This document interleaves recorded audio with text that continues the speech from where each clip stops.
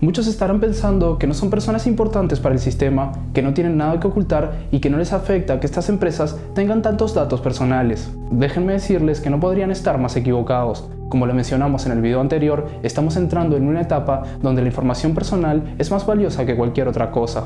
Entonces la cuestión aquí es, ¿debería dejar de usar WhatsApp? Quédate en este video porque te resultará muy útil.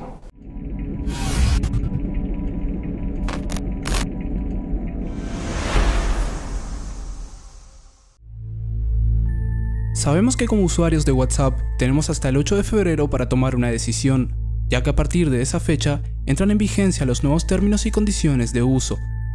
Probablemente te hayas topado con este aviso a la hora de entrar a la aplicación.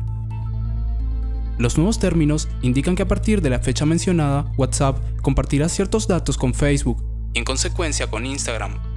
Datos como tu nombre, tu IP y por lo tanto tu ubicación si estás en línea o no, los grupos, con quién te conectas a hablar, durante cuánto tiempo y un sinfín de información íntima. La excusa que WhatsApp utiliza para hacer esto es que quiere brindar un mejor servicio conociendo más a sus clientes. Pero para entender esto, no tienen que pensar que las empresas obtendrán estos datos y listo. No olviden que la información se multiplica. Si saben que hablas con X persona y esa X persona recientemente compró en determinado lugar, sabrán que probablemente ese determinado lugar también te interese a ti. Tomen esto como el ejemplo más básico. Y así podrán ir descubriendo cómo captar la atención de toda la población, para saber cómo manipularte en el momento justo. Así que con toda esta situación, muchas personas han tomado una decisión, pasarse de WhatsApp a Telegram y también a un servicio de mensajería que está tomando mucha fuerza llamado Signal. Pero ¿tiene sentido hacer este movimiento? Aquí la situación tiene dos caras. La primera es que con la pérdida repentina de tantos usuarios de WhatsApp, estamos demostrando que somos conscientes de lo que se hace con nuestra información. Es una forma de juntar fuerzas y unirnos, de enseñarles que controlarnos al 100% no les será tan fácil, y por esa razón yo apoyo esta iniciativa. Además, algo muy importante que tienen que saber es que Signal solo necesita tu número de teléfono para registrarte. Telegram solo tu ID de usuario, contactos y nombre de cuenta. En cambio, WhatsApp utiliza un montón de datos, incluso antes de que entren en vigencia los nuevos términos. Datos de publicidad, ID de dispositivo, ubicación, datos de compra, informe de fallo, rendimiento y pago y un sinfín de cosas que muchos ni imaginan. Por lo tanto, a mi parecer, de algo sirve hacer este cambio, pero no crean que con esto su privacidad está intacta. Y aquí es cuando hay que hablar de la otra cara de la moneda. Tienes que entender que estamos en una era digital y cada vez la inteligencia artificial toma más impulso.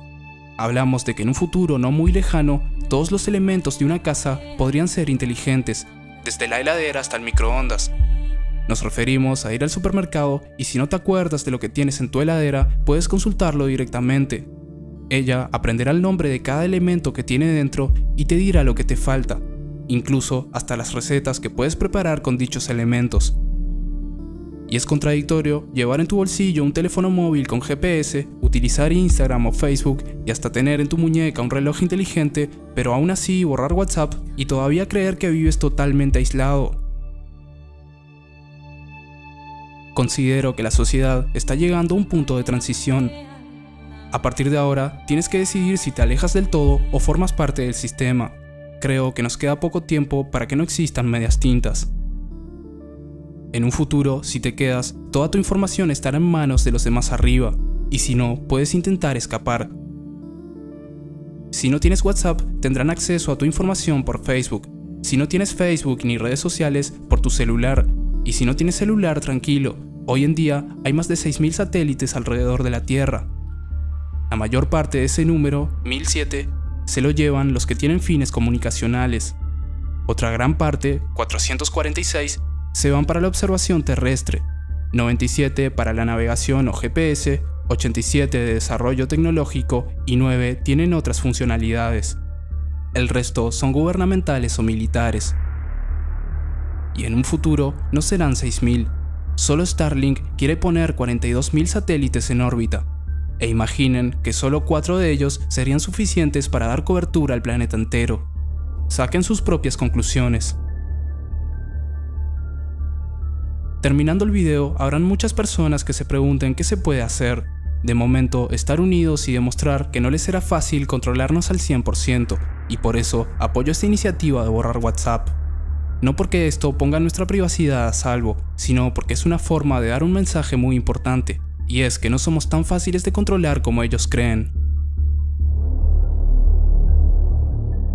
Esto ha sido todo por hoy. Recuerda suscribirte si te gusta el contenido de este tipo y nos vemos en la próxima con un video nuevo, porque para hechos fantásticos necesitamos pruebas fantásticas.